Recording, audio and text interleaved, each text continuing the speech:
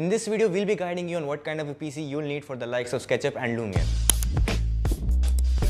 SketchUp and Lumion do not rely on core count. Rather, it's the single core performance that will determine how fast the changes you make to your model will be out for preview. The core count will come in handy depending on how many models you'll be working on at once. Having more cores will prove to be advantages for SketchUp if you're planning to use an external application for rendering, such as Luminati, Maxwell, and V-Ray.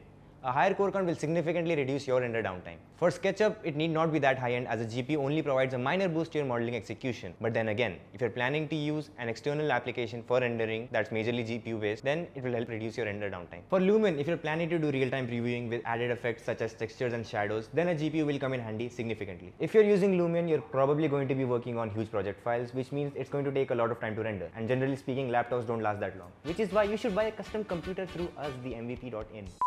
तो summarise करने के लिए catch up can make do with an entry level graphic card for the viewport performance और उसको graphic card जब ही लगेगा, जब आप एक्सटर्नल एप्लीकेशन यूज़ करने वाले हो। Lumion on the other hand will be able to utilise a better graphic card for both viewport performance and rendering there is no absolute configuration of RAM in this case though there is no limit on how much RAM would benefit you starting off around sixteen G GB to thirty two GB would be ideal for you storage as well is quite flexible but the recommended layout for it is generally using an NVM S S D for your boot drive and application and hard drive for your backup and dump file the faster read and write times will help in data transferring and viewport efficiency along with faster boot times. If you don't want to go through the hassle of doing all this research, then do find the link in the description below. One of our configuration specialists will get in touch to help you out with your requirement.